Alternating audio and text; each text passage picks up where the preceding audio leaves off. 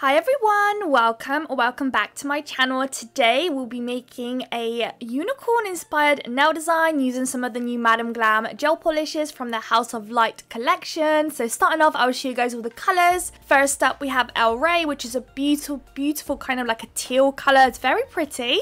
Next up, we've got this gorgeous green. This one's called Airy Season, and it's a beautiful, beautiful, vibrant green. We also have this beautiful pink, which is called Royal Pink, and it's definitely got to be my favorite in this collection. I love a good pink. And lastly, I got the orangey, peachy kind of shade. This one's called the King's Speech and it's a very beautiful pastel kind of peach colour. So I've got two other Madam Glam gel polishes that I'm going to use today, one of which is called Pinkster and the other one is Perfect White. Um, those did not come out in the most recent collection, so I thought I would just include at the end just so you all know exactly what I'm using today. So I decided to pick up a Pinkster just because I wanted a bit more of a muted pink, nothing too vibrant, nothing too in your face. Although right now maybe when I'm applying the base colour it looks pretty vibrant but actually later on we're going to matte top coat this whole set and this pink is going to look perfect with the rest of the design. So I'm going to apply the Pinkster shade across all three of our nails here. We are going to do two coats, but I will go ahead and do the second coat off camera. So once you've got the three nails applied with the Pinkster, we've got one nail that is going to be a marble. So I decided to pick up all of those four beautiful shades that I got from the new collection and just marble it onto the nail. So I'm not using any base um, gel underneath, although I highly recommend. I just couldn't find mine when I was filming this video, so I had to skip it to get this video up on time for everybody. But usually it'll be very recommended to place either a base coat or like a Bloomin' gel that does the trick better than anything really. So if you've got a Bloomin' gel, just apply a thin layer of Bloomin' gel and you notice how it just magically makes everything disperse nicely and it also makes the you applying the gel polish on top so much more easier. It feels like it floats more onto the nail than when you don't have anything. So here I'm just kind of using my brush to kind of glide the gel polish and cover up any areas that I've managed to miss. And then we're Gucci, so that'll be our one marble nail. It's a bit of a mad nail, there's quite a lot of gel polishes to marble, so you won't always get um, all of them visible. I feel like quite a lot of that light green is visible in this one. And for the fifth and final nail, we're going to do a four-way ombre. So I thought I would pick up all of those four shades and ombre them together. So we're going to start off with that teal colour, then the green, then the peach, and then the beautiful light pink at the bottom. I am going to use my Madam Glam ombre brush to ombre all of these beauties together. And the method I'm using today is just going to be the back and forth with the ombre brush. If you're regular on my channel, you'll probably know I used to use the brush, not the brush, the sponge method. So if you're more comfortable with that, then go ahead and do that. It can be easier or not. I feel like it's all completely down to the individual doing the nails. I used to be a massive sponge person and now I'm a brush person. Who would have thought? Definitely not me. So um, you just want to go from one side to the other. I like to start off by blending the two colours next to each other first and then once I'm happy I go right from the top right to the bottom and then I'm, that way I'm able to gradually um, kind of blend it all together. So at the start I am not focusing on making it perfect straight away. Like I said I tackle the two colors next to each other ombre them in the center and then once I go from the top to the bottom that's when I'm really trying to focus on making sure all those shades are going to perfectly ombre together. So that there's a nice little blend between all four of those colours. So you want to make sure you leave it for a second before popping it into the lamp. I've done the second layer now and we're going to sugar it. I love the way this one looks it looks so yummy. I was literally wanting to eat it. It looks so yummy yummy. So I'm just going to use some of my favourite glitter fine glitter from Larissi I'm going to sprinkle it all on top of that wet layer. If you don't want to use the wet layer of the gel polish you could go ahead and use the wet layer of a top coat if you wanted to so tap away any of that excess. I do like to tap the sides recently. I found that that way the edges are not that rough. So that's what I'm doing there and then I'm going to pop those into the lamp. So now it's time to start doing our hand painted unicorn and rainbow image on our nails. So it's been a little while since I've done like a proper hand painted design. I feel like I've been really drawn to stamping. I love stamping. Um, And this is just so much easier, I think, than hand painting, which is probably why I'm drawn to it so much more than hand doing things. But I've been really, really, really wanting to do a unicorn nail design for the longest time. I do have a couple of plates, but I love working on these long stiletto nails, and my plates are just simply too, the images on them are just simply too tiny. So when these colours came through the post and I saw those, it literally just screamed to me unicorns um, or some rainbows, and I just had to give it a go. Finally, just tackle it and see what happens. And I'm so glad I did. It was so fun to do, and it's so incredibly easy. So as long as you as you follow this tutorial, you should be so so capable of making a unicorn little face and the clouds and the rainbow and everything. So do stick around because it's so much easier than it looks, I think. So um, with our two nails, as you can see, there's one already chilling in the background. I'm only showing you guys doing me one at a time. I will trim in a second to the end of that ombre, just be uh, not ombre, the rainbow, just because someone ended up calling me and it cut my recording. Typical. So I did a little cloud at the bottom and then I'm going to pick up all of those shades and I'm going to do a rainbow with them. So of course it's not the real rainbow shades, nor are they going in the same order or anything, but they're still very cute pastel looking, especially when we matte top coat them. There we go, we've got our two rainbows there. So now it's time to tackle the actual unicorn itself. And guys, trust me, it was the easiest thing ever. And I'm here, I've been literally spending months trying to figure out how to do a unicorn design. I was trying stamping, but stamping makes it easier, but I, it's not large enough for the image for the you know nails that I'm working on. So it was just been a, such a big pain. But yeah, it's just so easy. So you want to start off with finding where you want the top of your unicorn head to be. So this is exactly where I've placed my almost halfway up the nail, you could say. Maybe just shy of halfway and then you want to colour it in and you want to you could do a straight line I did a slightly oval just to kind of mimic like a head once you colour it in, you're going to want to also do some two pointy little triangles to mimic the ears. I will go ahead and do a second layer of the white off camera as well in just a second.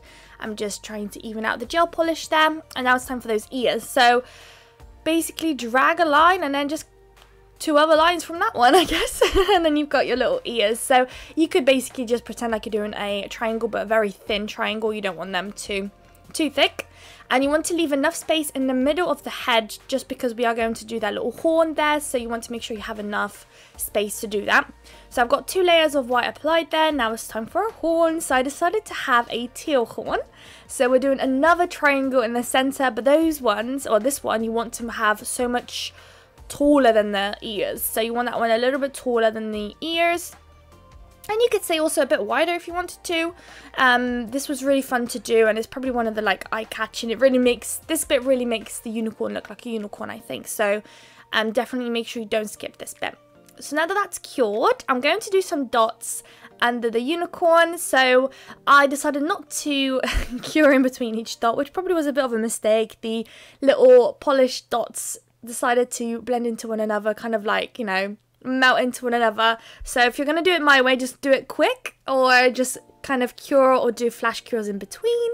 But I was placing the dots a little bit too close to one another, so they ended up touching the gel polish and one colour was kind of bleeding into the other, so that was a little bit of a mistake there from me. But it's cured now. I'm going to use that peachy shade to do the inside of the ears. So I'm just going to colour that in there. You want to make sure you leave that white kind of outline of the ear and just colour in the centre of it. So I'm just going to finish that one up, pop into the lamp, and before we top coat, we need to do just some cheeks on this unicorn. I'm not sure if I included it. I did actually. So I'm going to use some of that beautiful pink and we're going to do the little cheeks there. It's going to look so cute at the end. I absolutely love this nail. So once it cures, we'll be able to apply some glitter quickly whilst that's curing before we matte top coat the whole thing and just add some additional details. We do end up adding some pearls at the end too, which I've been dying to do. I really think that unicorn is just completely making me think of pearls. So I had to include them and I haven't used pearls forever ever so it was quite fun to whip them out and use them.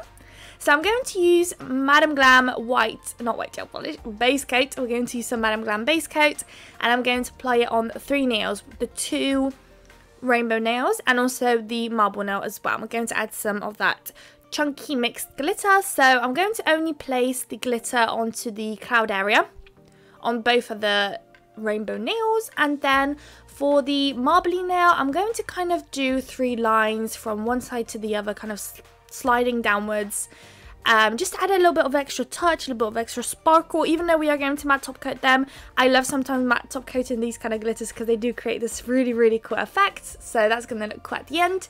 You want to make sure you don't cross the white line on the cloud. You really strictly want to make sure that the glitter stays in the cloud and nowhere else. So now we're going to finish up this one. And then lastly, the little marble one. If you don't want to do a marble, I'm, I don't know if I'm fully sold on the marble nail. You could do another ombre nail for sure. Maybe rather than sugar in it, you could just leave it matte. Simply just matte, just because it is so pretty. I absolutely love doing the, the couple coloured ombre. I think it's so cute and effective, especially with this uh, unicorn. I feel like I just could have never um, found the best gel polishes for it and when this collection came through I was literally obsessed instantly. It was I looked at those and it was instantly right unicorn it is. This set is just definitely going to be unicorn.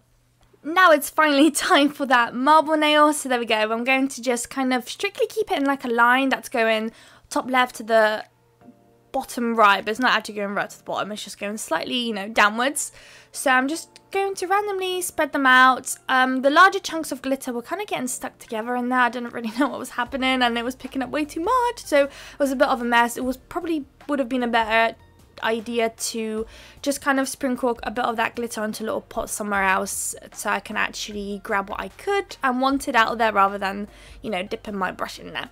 So once I'm happy, you can go ahead and cure it. Once it's cured, we'll be finally able to top coat these. So for today's set, I am going to matte top coat those. I know I've been just constantly matte top coating, but oh, I just love it. I am using my um, Venalisa matte top coat because I don't actually have a Madam Glam just a Madam Glam Velvet Matte Top Coat. I don't have one of those, so I had to whip out a different one. I do have their sparkly matte top coats, but I didn't want to use that one for today's set. I feel like that would that would have just been completely too much. I feel like there's already quite a lot going on in this set, and adding the even extra sparkle to the design would have been a bit much, and just not what I was going for. So once you're happy, place a nice generous amount. Of course, we have glitter there, so if you wanted to make sure that the nails are smooth, you can use Builder Gel on top, or what else can you use? A couple of layers of base coat or top coat just to kind of smooth them out. You can also buff the nails later and all of that good stuff. But of course today it's just a nail design. Nobody's wearing these so I won't be having to faff about with that. I can just matte top coat one layer and be good to go. So I'll pop those into the lamp. Here we are. So they are now matte. I ended up just trimming a little bit because I was having the hardest time making those eyes symmetrical.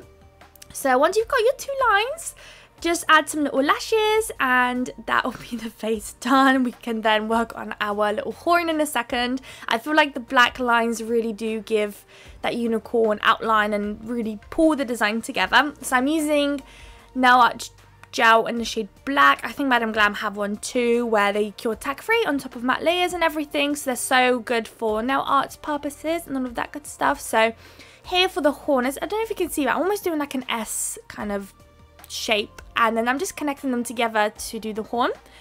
Um, I think it's the right way. I'm not quite sure. I haven't really watched a video on how to do unicorn faces. I'm just kind of trying to guide myself through an image I found. So hopefully that does it, but I feel like it looks pretty good, so I think it's not the worst.